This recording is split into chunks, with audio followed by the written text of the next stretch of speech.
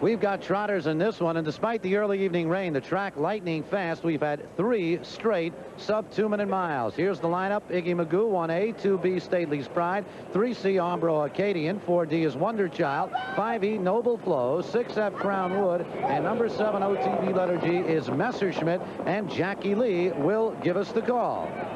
Roval on the inside, Stately's Pride and Armbro Acadian for the lead. Wonder Child and Messerschmitt join him from the outside. Around the first turn they go. Stately's Pride has the lead. On the outside, Armbro Acadian is second. Iggy Magoo moving at the rail of third. Up in fourth position is Wonder Child up the rail. Noble Flow fifth. Messerschmitt parked outside sixth. And the trailer is Crown Wood. They head down the backstretch toward the quarter pole. Stately's Pride has the lead by full length.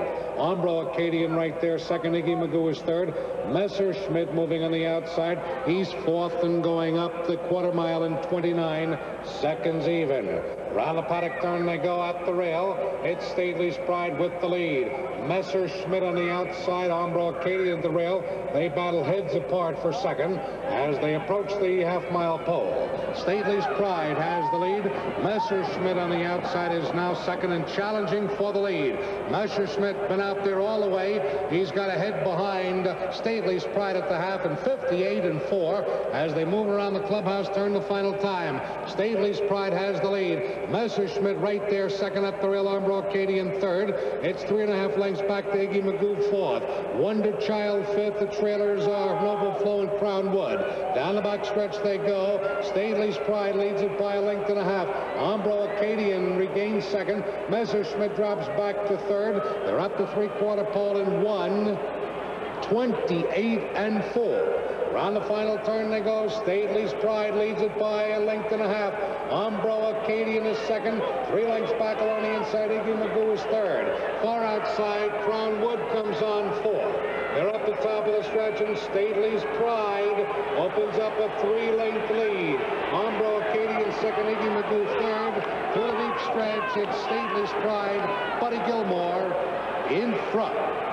Under the wire, Stately's Pride scores an easy victory. Iggy Magoo is there for second with uh, Armbro Acadian third. We've got a mile in 159 flat, which is just two-fifths of a second off the track record here at Roosevelt Raceway. Now back to Stan Bergstein. And you have just seen an object lesson in what happens when a good young horse tries to tackle a good older horse.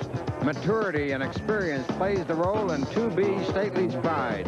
A six-year-old who races mainly down in the Delaware Valley puts Messerschmitt away at the half 620, 440, 320. Stately's Pride owned by Robert Richards and David Drew of New York and Florida, trained, trained by Dave Drew, driven by Buddy Gilmour. 1A Iggy Magoo, 1080, $5. 3C Armbro Acadian 260 to show.